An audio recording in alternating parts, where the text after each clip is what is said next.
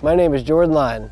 I'm a first lieutenant, part of the 278th Armored Cavalry Regiment in the United States Army, and I'm proud to serve here in Polska. American soldiers serve shoulder to shoulder with our Polish allies. Our mission is clear, to safeguard Poland and the NATO alliance, to defend against and deter threats to our allies, to make us all safer, and we take it very seriously. What many of you may not know is how many U.S. forces are actually in Poland. We have U.S. Air Force components throughout Poland. We have a U.S. Army Armored Brigade combat team in several locations across the country. In Orzysz, we have a multinational battle group with our NATO allies. Did you know there are so many American troops throughout Poland?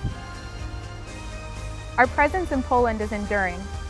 There are currently over 4,000 American soldiers in Poland at all times.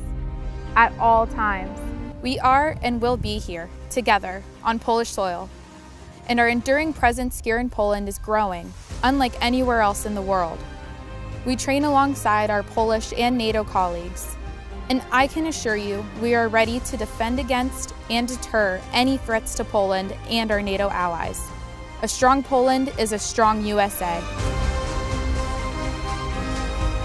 Silniejsi razem!